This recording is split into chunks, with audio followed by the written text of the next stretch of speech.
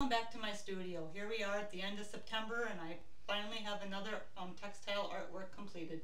I spent most of my summer doing a couple of commissions so I have not had time to get one ready for an exhibition. This artwork is the fourth one in the Abstract Texture series and this continues the undulating spiral design and waveforms that were in the first three pieces of this series. And this one includes orange fuchsia and a little bit of turquoise along with some green in, in the fabric and black. And this whole cloth construction with hand brushed dyes is created the basis for the artwork. And the dense hand stitching that I did is what creates the undulating pattern through it. To learn more about these artworks, you can visit my website at www.jeanjudd.com.